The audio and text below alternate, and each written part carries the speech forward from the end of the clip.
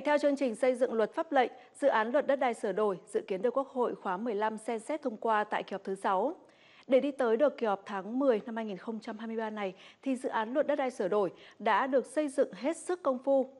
Việc sửa luật thì đã được chính thức khởi động từ cách đây 3 năm, khi vào tháng 8 năm 2020, Chính phủ đã thành lập Ban chỉ đạo tổng kết thi hành luật đất đai và xây dựng dự án luật đất đai sửa đổi.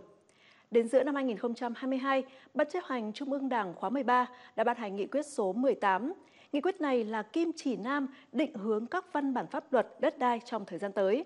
Vào tháng 10 năm 2022, sau kỳ họp thứ tư, thực hiện chỉ đạo của Ủy ban Thường vụ Quốc hội, Bộ Tài nguyên và Môi trường đã hoàn thiện dự thảo và lấy ý kiến nhân dân trong vòng 2 tháng rưỡi, từ ngày 3 tháng 1 năm 2023 đến ngày 15 tháng 3 năm 2023. À, vâng, có thể nói là sau đợt lấy ý kiến nhân dân xây dựng hiến pháp năm 2013 à, ờ, thì đợt lấy ý kiến sửa đổi luật đất đai lần này diễn ra sâu rộng nhất, à, đã huy động được hơn 12 triệu lượt ý kiến tâm huyết góp ý vào dự thảo luật. Đồng thời để xây dựng dự thảo luật đất đai sửa đổi, cơ quan soạn thảo đã chủ động ra soát đánh giá hơn 100 luật, bộ luật có liên quan đến đất đai để ờ, tránh trồng chéo và mâu thuẫn.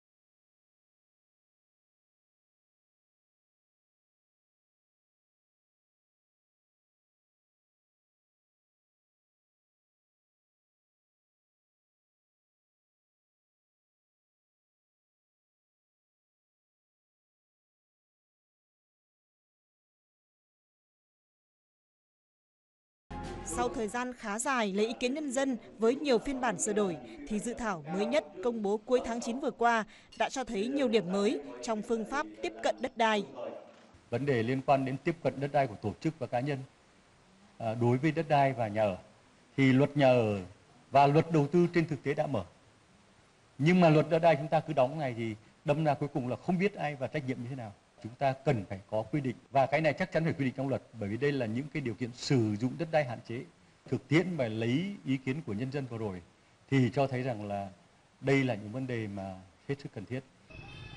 Theo cơ quan soạn thảo, dự thảo luật đã thể chế hóa 3 mục tiêu tổng quát, 6 mục tiêu cụ thể, 6 nhóm giải pháp và 8 nhóm chính sách lớn tại nghị quyết số 18. Chính phủ, các cơ quan liên quan đã rất nỗ lực cố gắng trong quá trình xây dựng dự án luật này. Tuy nhiên, Chủ tịch Quốc hội Vương Đình Huệ cho rằng đây là dự án luật có tầm quan trọng đặc biệt, phạm vi rộng, nội dung khó. Vì vậy, cần đặc biệt lưu tâm không trình Quốc hội một bản dự thảo luật 9F.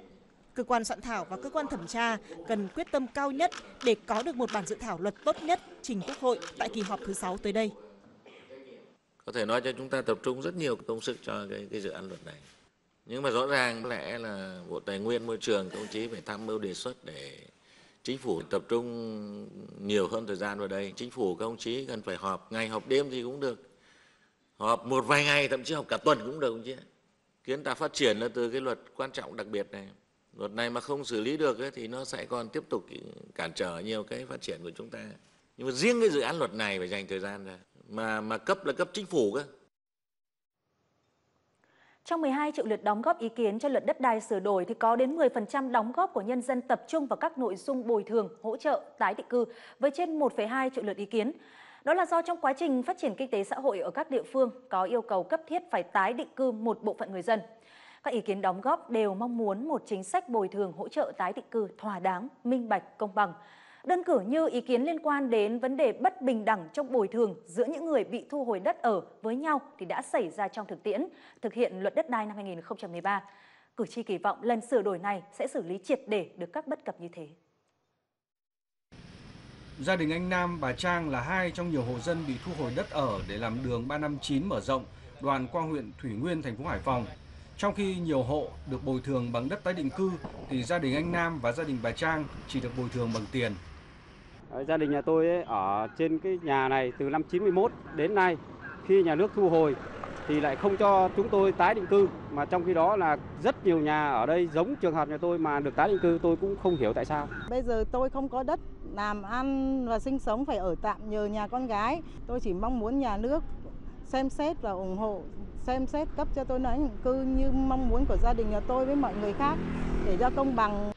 Nếu nhận đền bù bằng tiền, mỗi mét vuông nhà anh Nam chỉ nhận được 13 triệu đồng, còn bà Trang nhận 6 triệu đồng. Trong khi nếu đền bù bằng đất tái định cư, mỗi mét vuông người được bồi thường chỉ phải trả từ 2,2 đến 10 triệu đồng theo đơn giá nhà nước. Nhưng nếu bán sang tay ngay thì có thể nhận từ 30 đến 50 triệu đồng một mét vuông theo giá thị trường.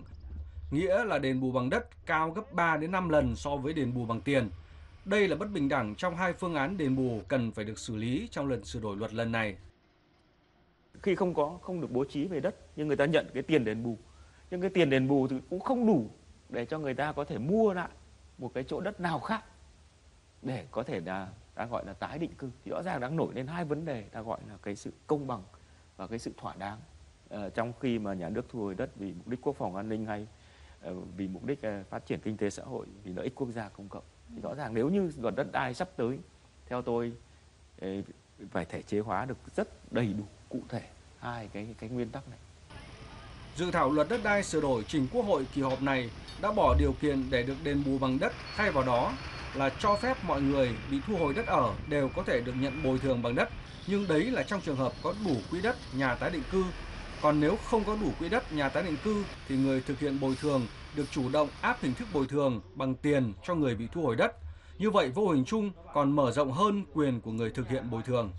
Cái việc rộng này á, thì giúp cho cán bộ có thể chủ động hơn trong việc giải quyết. Tuy nhiên ở đâu đó thì chúng ta lại đang trao quá nhiều quyền cho chính những cán bộ này và nó sẽ dẫn đến cái việc lạm quyền. Bởi trong trường hợp này ngay như theo dự thảo mới thì dường như là gì sẽ được quy, quy sang chuyển sang bằng tiền ngay trong các trường hợp mà theo sự quyết định của chính những người đang thực thi cái việc thu hồi đền bù đó. Các chuyên gia cho rằng chỉ có thể có sự công bằng giữa bồi thường bằng đất và bằng tiền nếu khung giá tiền đền bù theo quy định của nhà nước được đưa về sát với giá thị trường. Tuy nhiên, đây là một vấn đề khó mà dự thảo luật đất đai chưa có hướng giải quyết triệt để. Luật đất đai là một trong số các luật có tác động to lớn đến sự phát triển của đất nước về kinh tế xã hội, tác động đến mọi người dân. Và nhìn tổng thể thì dự thảo luật đất đai sửa đổi đã được chuẩn bị công phu, nghiêm túc, có nhiều điểm đổi mới. Cử tri và nhân dân cả nước đang kỳ vọng đạo luật này sẽ giải quyết những điểm nghẽn, gỡ bỏ những nút thắt trồng chéo, khơi thông nguồn lực đất đai, tiếp thêm động lực cho thị trường bất động sản. Với tinh thần lắng nghe nhiều chiều để sửa luật đất đai, mời quý vị cùng đến với những ý kiến của cử tri đóng góp về dự án luật này trước thềm kỳ họp thứ 6 tới đây.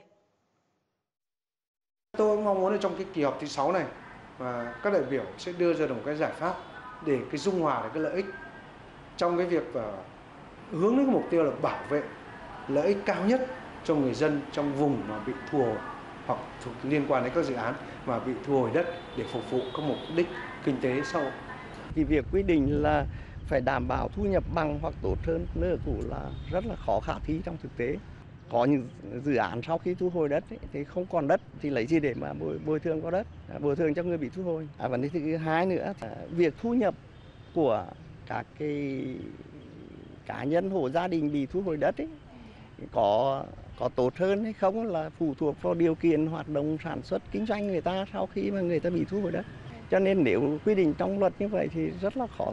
có khó tính khả thi. Dự thảo luật lần này thì những cái chính sách này có thể nói là rất đổi mới nhưng mà nó chưa rõ ở cái chỗ là ai là người thực hiện hỗ trợ để mà ổn định đời sống và sản xuất kinh doanh. À, thì nghe đọc lên thì rất là thích thú. Thế nhưng mà thực tế trong thực tế cũng cũng vậy là cái người thực hiện là không rõ. Thì bây giờ nhà nước thu hồi đất, nhà nước thực hiện chính sách ấy hay là cái chủ đầu tư cái dự án ấy phải thực hiện cái chính sách đấy. Trong tất cả các cuộc tiếp xúc cử tri của đại biểu Quốc hội để chuẩn bị cho kỳ họp thứ 6 tới đây, thì ờ, không cuộc nào không có các kiến nghị tâm huyết của cử tri về các vấn đề sát sườn với người dân liên quan đến dự thảo luật đất đai sửa đổi. Tất cả các ý kiến này đã được các đại biểu Quốc hội tại 63 tỉnh thành tiếp thu để đóng góp đầy đủ trước Quốc hội trong kỳ họp lần này. Cử tri cả nước kỳ vọng trong lần họp thứ ba, thảo luận về dự thảo luật đất đai sửa đổi sẽ có một bản dự thảo luật đất đai sửa đổi toàn diện đáp ứng các yêu cầu cấp thiết của thực tiễn để các đại biểu Quốc hội đủ tin tưởng bấm nút thông qua trong kỳ họp thứ 6 sẽ khai mạc trong hai ngày tới.